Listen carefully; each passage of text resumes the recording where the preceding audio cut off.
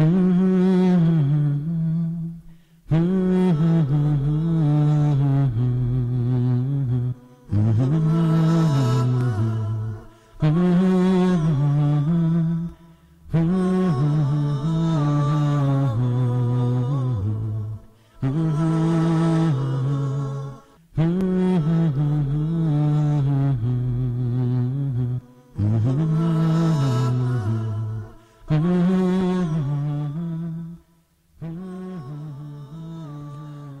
الرحمن الرحيم الحمد لله رب العالمين صلى الله وسلم وبارك على عبده ورسوله الأمين نبينا محمد وعلى آله وصحبه أجمعين السلام عليكم ورحمة الله وبركاته The battle of Uhud is officially over.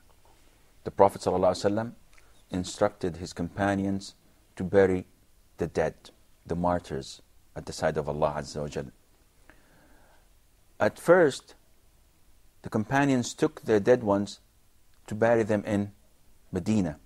And while they were in the middle of the way, the Prophet sent uh, uh, his messenger to call them back to be buried in Uhud. And this is the Sunnah, where whenever a person dies, he is to be buried where he dies, especially in the battlefield. And among those who were buried was Abdullah ibn Haram, the father of the famous companion of the Prophet Jabir ibn Abdullah. He was buried along with his brother-in-law, Amr ibn al-Jamuh. And subhanallah, and this is a miracle and a sign from Allah Azza wa. Usually, usually the trend is whoever dies after a year, earth dissolves their bodies and it's all gone. This is nature. Jabir ibn Abdullah tells us that after approximately 30 years of the Battle of Uhud, or 36 years, there came a flood that revealed some of the graves in Uhud. So Muawiyah ibn Abu Sufyan, who was the, khal the, the Khalifa, the Caliph at the time, sent to them that redirect and, and, and relocate the graves of your loved ones who were buried in Uhud. So Jabir went, he dug out his father and his uncle, who was married to his aunt. And when he dug them out, they were as if they died yesterday. Nothing The- has changed. The body them. is still the same. The Everything was still the same to the extent that he says that my father had his hand over one of his wounds. And when I removed his hand, it was, you know, still moving. It's Yeah. not stiff like a dead man. And it started bleeding again. This is unbelievable. But this what took place and happened. And this is a sign from Allah. Now this is not the norm with all who die in a, a battlefield, in, in, in jihad. But this was a sign from Allah and a karama, something to honor these people Yeah. with. And of course, it would bring comfort to Jabir ibn Abdullah. We were told that the Prophet ﷺ comforted Jabir and his aunt because his aunt was crying when they brought Jabir, and the Prophet ﷺ told uh, uh, uh, his aunt, Cry or don't cry, it's up to you. He was given the shade with the wings of the angels till he was resurrected. That is his soul. So don't be afraid, this man is in paradise. And he also comforted uh, uh, Jabir by saying, Jabir, your father, Allah Azza wa Jal, brought him and asked him, O my servant, wish. Wish whatever you want to wish. Make a wish. So, Abdullah ibn Haram, what was his wish, you think? What do you think he wished? Money? To come back to the Yes. He wished, Oh Allah, I wish to come back and fight at your side so can, I can die again and again and again. Allah Azza said, Well, I've already ordained this, preordained this before that no one dies and come ba- comes back to life. Sheikh, are we allowed to cry upon our uh, dead brothers? Well, crying is a natural thing. This was done by the Prophet ﷺ when one of his grandsons died and he had him, he held him in his, his arms and he started crying. And also when his son, Abraham, who had less than two years old, he was less than two years old, his mother was Maria, the Coptic, that was yeah. given to the Prophet ﷺ by the Muqawqis of Egypt. When he also died, the Prophet ﷺ cried. And one of the companions objected by saying, Prophet of Allah ﷺ, you cry? The Prophet says ﷺ, that this is the mercy of Allah. And whoever Allah takes the mercy from his heart is, is not a normal human being. So crying is allowed. What's not allowed is to shout and scream and to behave as if you are not uh, uh, accepting the ruling of Allah. Some women would, tore, would, would tear their, their clothes or pull their hair or slam their faces or shout. All of this is a major, all of this is considered in Islam as a major sin. And a Muslim is not allowed to do this. Yes, Abdullah. Yeah, I was just going to comment on the same similar thing. There are groups which use the Islamic label and they slash their faces and put blood on their faces when people die. Yeah, this is completely against Islam. Because whenever you want to label a group, you have to put this group to know if, if it's an Islamic group or un-Islamic. You have to you have to put this group through the acid test, and our acid test is the Quran and the Sunnah. So if anyone claims to be mourning the dead one, the dead uh, uh, uh loved ones, by slashing their faces or hitting their heads and backs with chains and swords and, and bleeding and considering this to be form of worship to Allah Azza wa Jal, let's see the origin of this. Does it exist in the Quran and the Sunnah or the actions of the companions? If it does not, then definitely this is an innovation and a fabrication on Islam. It has nothing to do with our religion. Abdullah ibn Haram was a great companion of the Prophet ﷺ who died at the cause of Allah and wished to come back to fight at the side uh, uh, or uh, for, the, for the sake of Allah.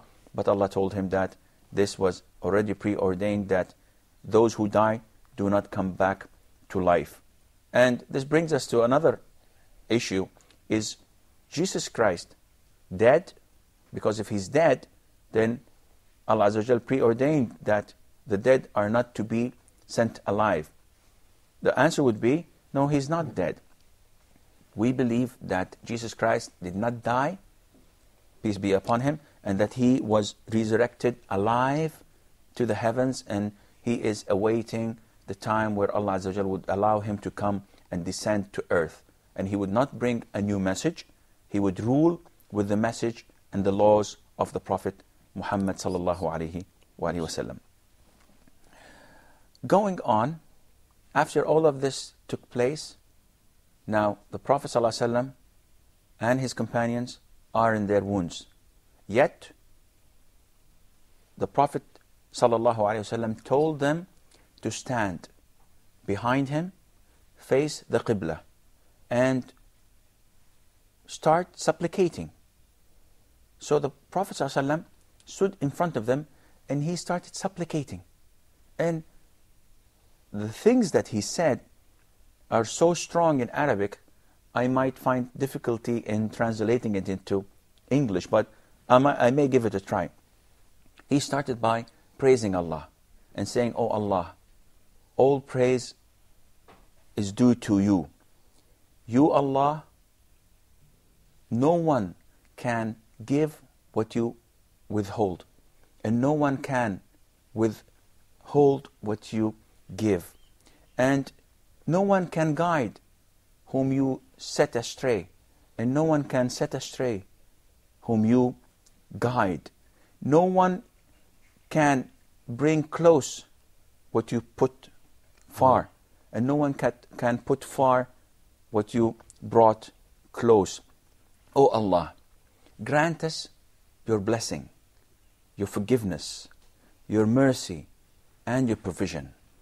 O Allah, I ask you to give us the enjoyment on the hereafter that does not turn away from us and does not change.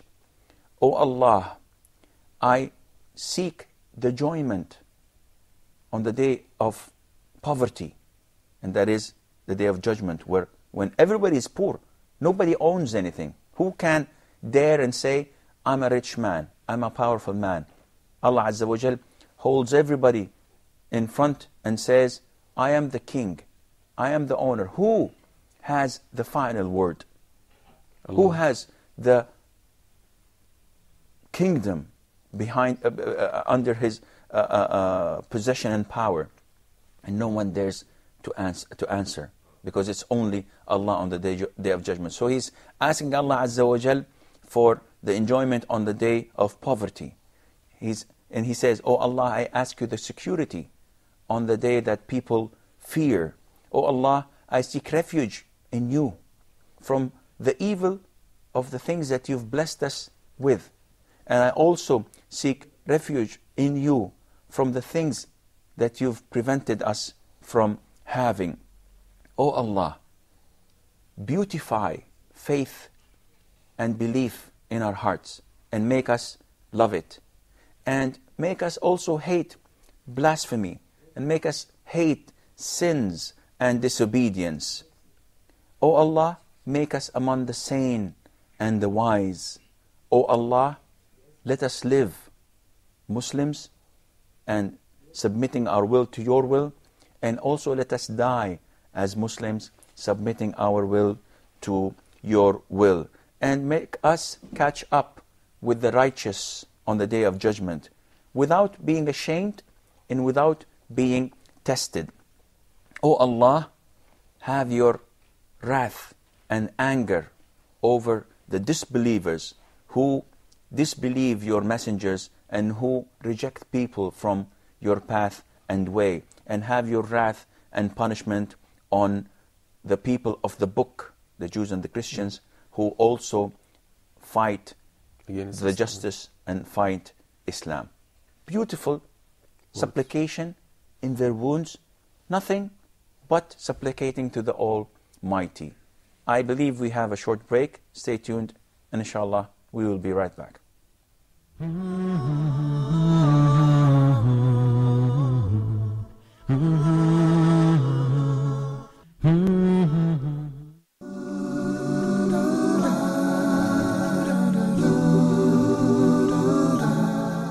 According to the Quran, we live in a universe that worships Allah. It is not just human beings who celebrate His praises, but animals as well. Join us every Wednesday at 20 GMT for your show, Even Animals Glorified.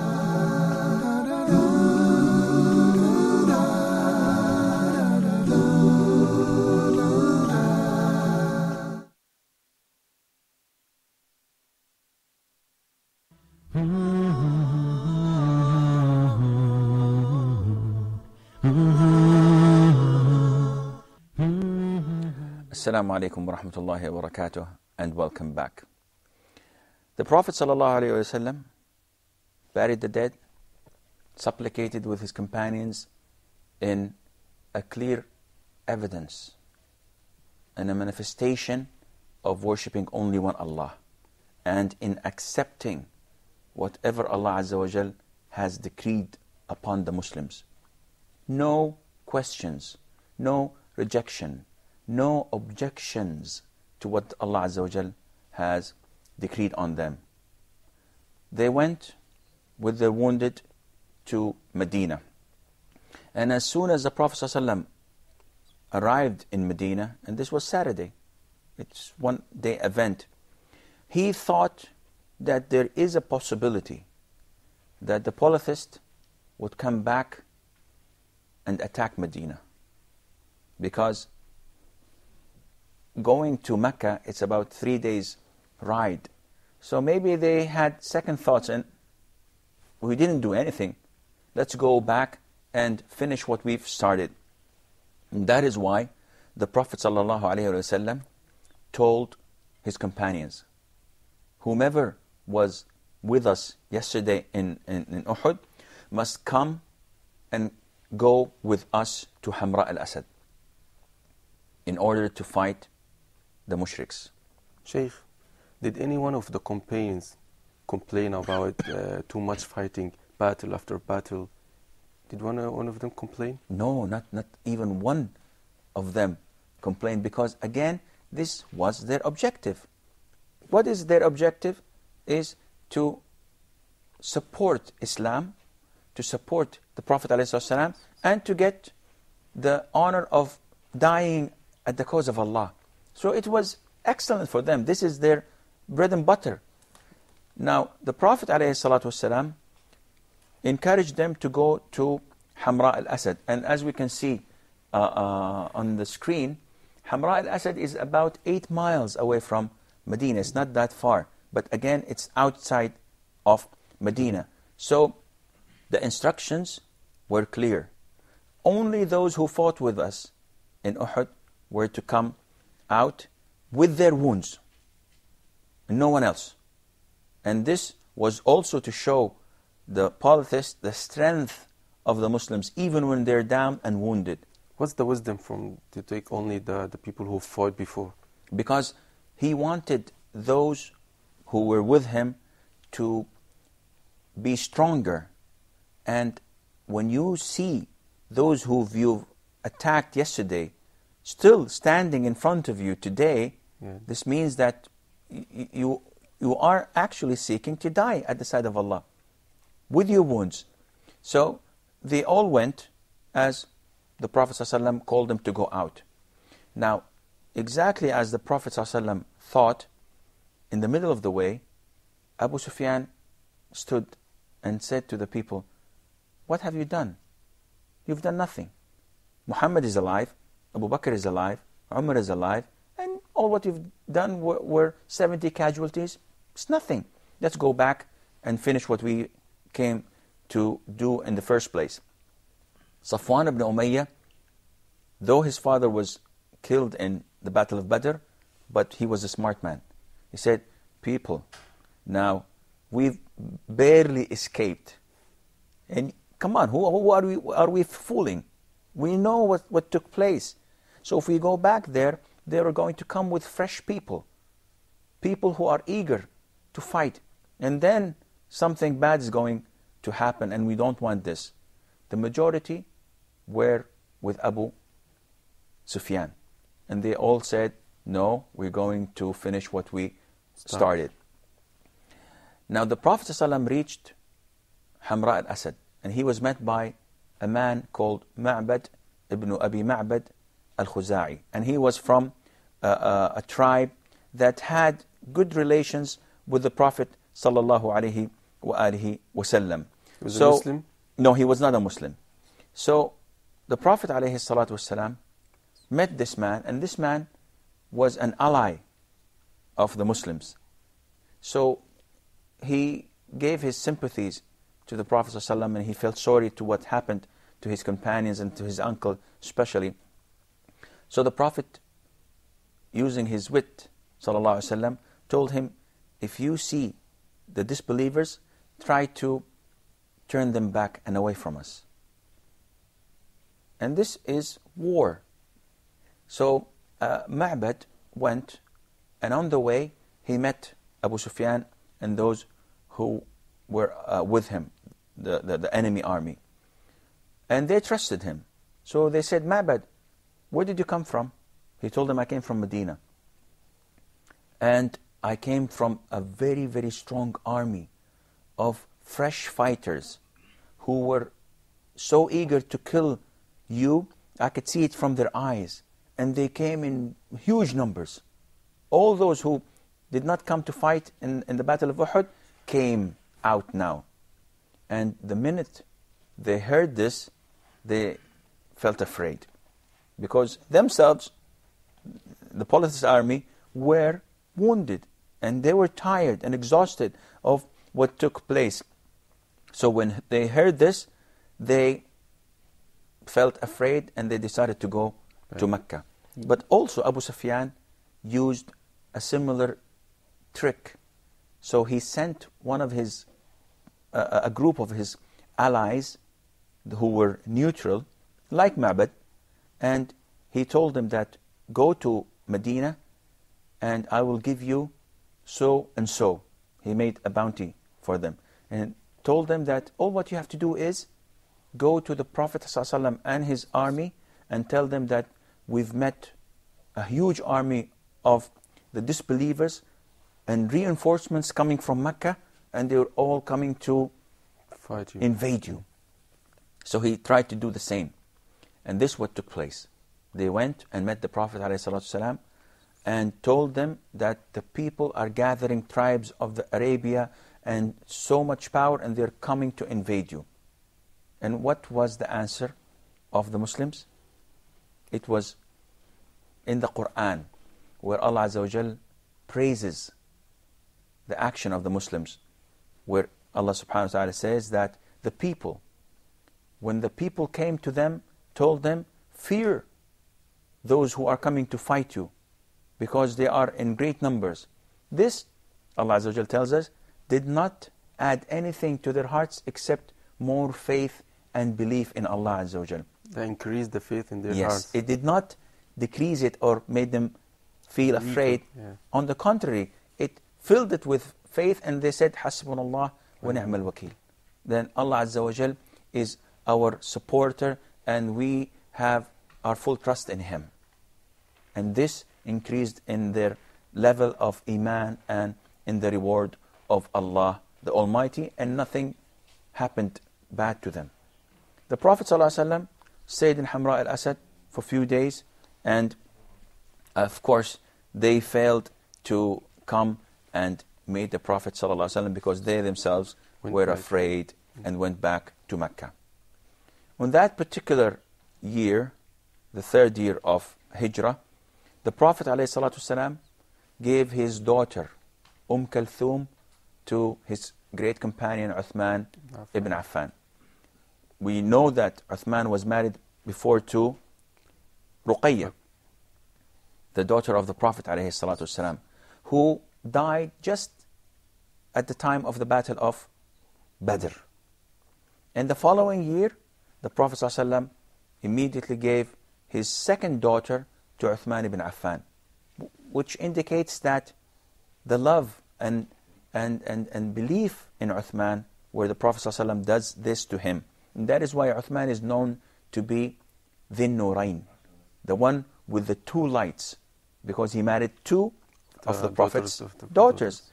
And this shows to us that Uthman's status is far better than Ali ibn Abi Talib's status because Ali had only One. one daughter of the Prophet, while Uthman had two daughters. And also Umm Kulthum died at the lifetime of Uthman, may Allah be pleased with him. And the Prophet said that if I had a third daughter, I would have given it to Ibn Affan to show that the trust and love he had for Uthman ibn Affan. Also in this year, the Prophet ﷺ married the daughter of his best friend, Umar ibn al-Khattab. And Umar ibn al-Khattab had a daughter by the name of Hafsa. And Hafsa, may Allah be pleased with him, uh, uh, was married before, but her husband happened to die. And, his, and her husband was Khunais ibn Hudhafa. He was injured on the Battle of Badr, and he died. So the Prophet ﷺ married her. And her marriage story is, is quite strange because when her husband died, she was left, she, she was widowed. So Umar ibn Khattab, her father, went to his best friends. He went to Uthman ibn Affan. And he told him, Uthman, your wife died. That was Ruqayya. You're unmarried. You're a bachelor now. So how about marrying Hafsa, my daughter? And Uthman was still mourning his wife, so he said, um, I can't. I don't want, I, I don't feel like marrying. So he wasn't very pleased with that. So he went to his second companion and friend. He went to Abu Bakr. Abu Bakr. and said, Abu Bakr, my, my daughter Hafsa has been widowed, and what about if you marry her? So Abu Bakr did not answer him and ignored him. And this felt even worse. And then, to his surprise, the Prophet ﷺ proposed to her. And of course, this was a great honor, and Umar immediately accepted, and she was uh, uh, uh, wedded to the Prophet ﷺ.